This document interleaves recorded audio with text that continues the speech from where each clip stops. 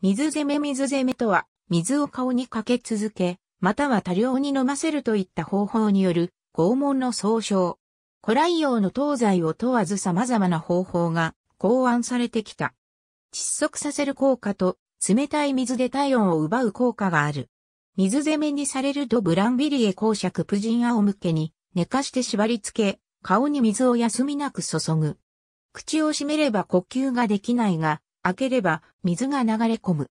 西欧では顔に布をかぶせたり、ロートなどに差し込んで水を流し込む方法が取られた。胃が水で満ちると腹を攻撃する。頭を下にして腹を圧迫すると水を吐かせられる。このまま呼吸困難で苦しむ。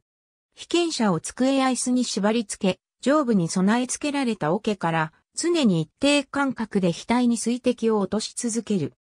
身体損傷よりはむしろ終わることの内定刺激を繰り返すことにより、精神苦痛と最終的な精神崩壊を誘発させる方法。西欧では、チャイニーズウォータートーチャーとして広く知られている。水につけて呼吸できないようにする方法。死にかけるまで水につけ、引き上げて空気を吸わせるとまたすぐにつける。これを繰り返すのが基本。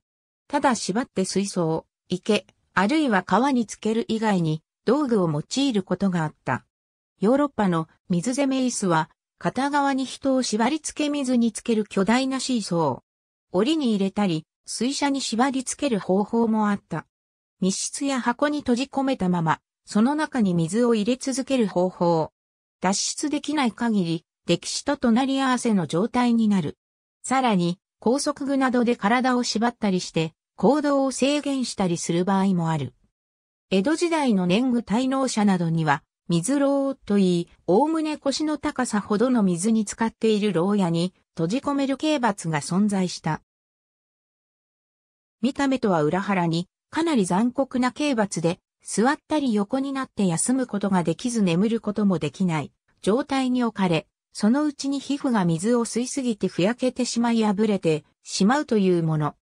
群馬県北部には、江戸時代初期、真田氏が治めていた沼田藩が設けた水牢の遺跡が残っている。例として手下左衛門地蔵村千日堂、桃瀬の水牢、池の薬師水牢がある。ありがとうございます。